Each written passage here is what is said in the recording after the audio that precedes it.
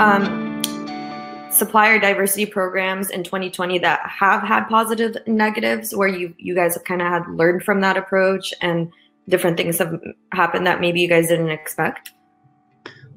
Well, you know, I, I think that I think the hard the hardest part of a year like this is you know there there there are impacts to companies right and and if there's a natural sort of pulling back a little bit from a company like cisco that means less op- potentially less opportunities for all of our suppliers diverse or non-diverse I think when you uh, when you're wired like me and you enjoy the ride, right? You enjoy the relationships and the, and the, and the people that you meet.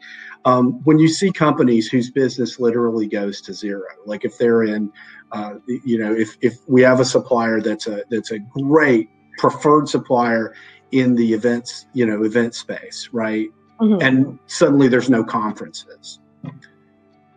That you know, that's a huge impact to that company. Absolutely. So feeling sort of the the the the empathy, the sympathy, the pain, you know, of that, and trying to figure out what is it that we can do.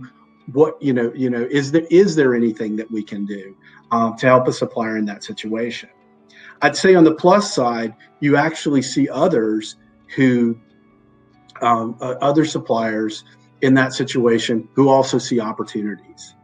And one of the great things, not just with diverse companies, but sometimes many times with small companies, the ability to pivot, the ability to have a virtual virtual meeting offering to immediately start to fill that vacuum left by there's not there, there aren't physical conferences to go to and i've seen examples of that in in, in our supply base that actually really tried uh, to to to pivot very quickly and got even busier because there's so much virtual activity going on. Right yeah. Now.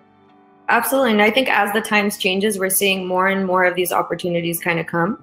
Uh, as you mentioned, for some companies, it's not as as a good opportunity, but for others, it's a, a chance to excel for them and find different areas of work and whatnot.